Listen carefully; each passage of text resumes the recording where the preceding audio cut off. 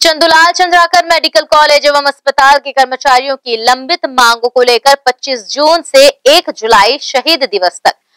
पड़ाव यात्रा निकाली जाएगी। शहर के सभी चौक चौराहों पर पोस्टर चिपकाकर अपना संदेश दिया जा रहा है। जन स्वास्थ्य कर्मचारी यूनियन छत्तीसगढ़, मुक्ति मोर्चा, मजदूर कार्यकर्ता समिति के बैनर तले Chandulal Chandrakar memorial medical college एवं अस्पताल के कर्मचारियों द्वारा लगातार अपनी मांगों को लेकर आंदोलन किया जा रहा है। जिस पर अब तक कोई भी सुनवाई नहीं होने से आक्रोशित। कर्मचारियों ने संघर्ष में क्या समझौता हम तैयार हैं के नारों के साथ 25 जून से 1 जुलाई शहीद दिवस तक पड़ाव यात्रा शुरू की शुरू किया है, जिसके तहत यह सभी कर्मचारी शहर के प्रमुख चौराहों पर पड़ाव यात्रा का पोस्टर चस्बा कर शासन प्रशासन का ध्यान अपनी ओर आकृष्ट करा रहे हैं। साथ ही अपनी मांगों को पूरा करने का संदेश दे रहे हैं। इसी कड़ी में सोमवार को इन मजदूरों द्वारा दुर्ग के पटेल चौक पर लाउड स्पीकर से अपनी दुर्दशा और और शासन प्रशासन से सहयोग मांग पड़ाव यात्रा का पोस्टर चस्पा कर रहे हैं। इसके साथ ही यह पड़ाव यात्रा 25 जून को Chandulal Chandrakar memorial medical college एवं अस्पताल से निकलेगी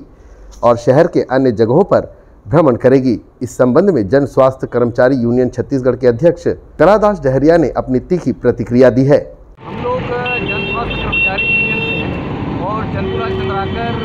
memorial medical college जब से सरकारी हुआ है, तब से हम लोगों को काम से निकाल दिया गया है। और उसी को लेकर हमें भी संविलियन किया जाए, हमें भी वहाँ पर काम पर रखा जाए, उसको लेकर हम लोग नौ महीने से आंदोलन कर रहे हैं। इस नौ महीने के अंतर्गत हम लोगों ने राष्ट्रीय राजमार्ग, चक्का जाम से लेकर आवेदनों का रिसीव का तो हमारे पास गट्ठा है, इतना। दूसरा ये है कि हम लोग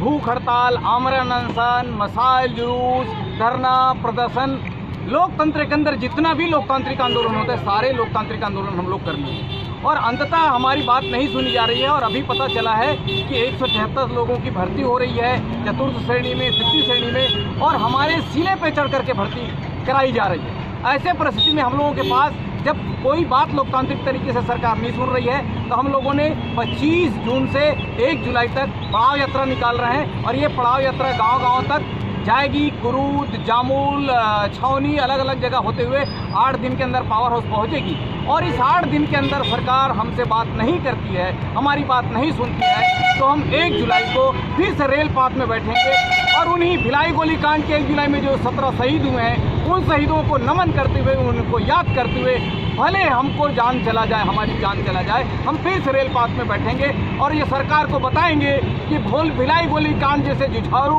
और ईमानदार जो लड़ाकू है, आज भी ज़िंदा है और आज भी आपके सामने रेल पटरी में बैठा है। Chandulal Chandrakar memorial medical college एवं अस्पताल के कर्मचारियों का लंबे समय से आंदोलन करना और शासन प्रशासन का इस ओर ध्यान न देना समझ से परे है। बेहतर होगा कि शासन प्रशासन इस ओर जल्द से जल्द अपना ध्यान आकृष्ट करे और इसके लिए कोई ठोस कदम उठाए। ग्रैंड एशियन न्यूज़ के लिए दुर्ग से नसीम फारूकी की रिपोर्ट।